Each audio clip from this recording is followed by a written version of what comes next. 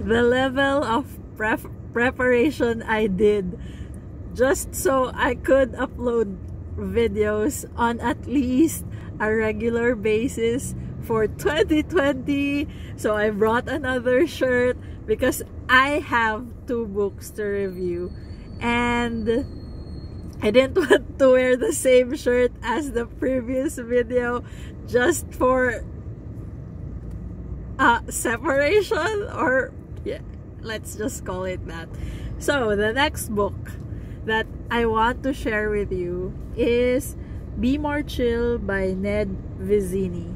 Is it Vizzini or Vicini? I, I don't know. Uh, this is the second book I have read by him. I forgot the title of the other one. It's the Green Book.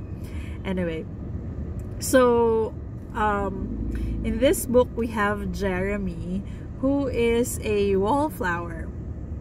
And along the story he is given a pill which is called uh, the squip when, when he ingests it um, it helps him to become cool to be part of the cool crowd and unlike the first book I read, this is the second book I read for 2020. This one is entertaining. I I love this. I have enjoyed this.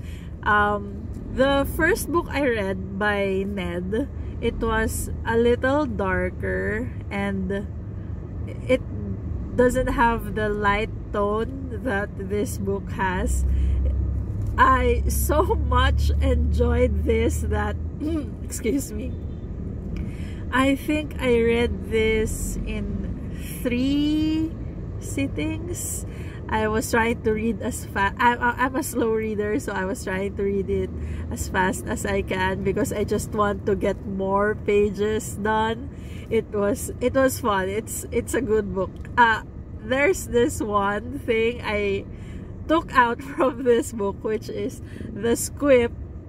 Um, I'm looking outside because people might see me. The people walking would be wondering. I'm just shy. Anyway, um, sorry.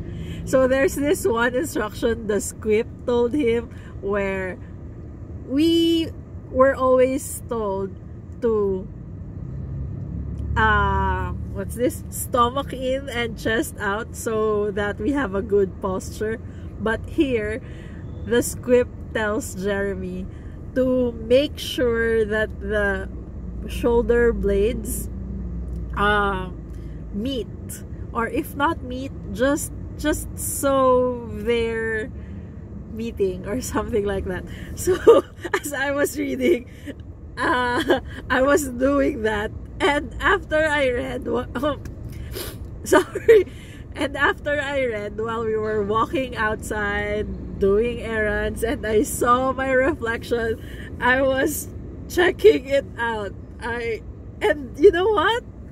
I think in my brain it's better than the rule of stomach in and chest out. So, so I shared it with my sister and we've been doing it. I, I just think it's better. I, I like I like that one better. So that's the one thing that will stay with me from this book. Point is, I enjoyed it. It is a good book. This one I recommend for anyone, for all of you to read because it's it's a fun story. So yeah, that's it. I'll see you on the next one. Bye!